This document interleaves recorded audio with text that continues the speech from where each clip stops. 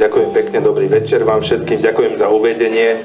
Ešte raz moje meno je Radovan Tariška, teraz vám zahrám dve skladby z môjho repertoáru, ktorý sa volá Folklore to Jazz.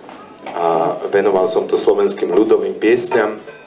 Jedna z tých známejších vecí, vlastne obidve sú známe, jedna sa volá Čo to za veselie a tá druhá sa volá Červené jablčko. A teraz by som sem k nám prizval môjho cteného kolegu, dlhoročného priateľa Miško Bugala, ktorý aj pán profesor, zároveň na Huaja, ktorý si s nami zahrá